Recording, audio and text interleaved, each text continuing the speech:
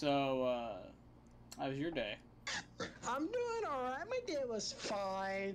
Despite the fact that Kermit killed every one of my family members, my wife Anne has stolen all of my money and everything that means everything to me.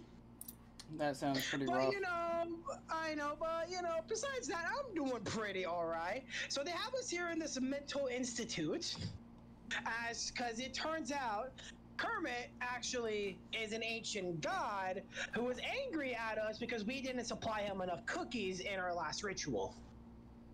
So now he's come to reap and sow on on our world to get what he wants, which is chocolate chip cookies. Ah!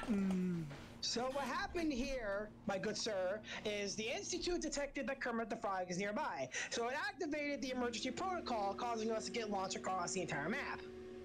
As you can see, we are now in safe confinement, where Kermit the Frog can't get us for another couple years. We, so we should be fine. So tell me, how is your day going? Is Uh, it going as is it going as expected? yeah.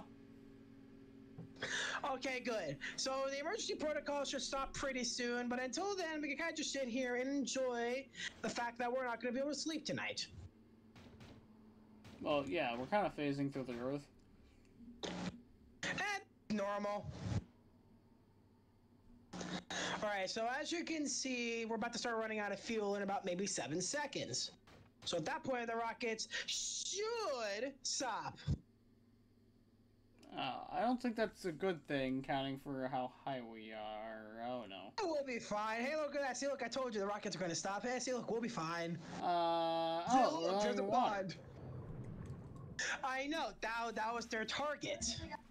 How the hell did they accurately do that? Huh? You'd be surprised.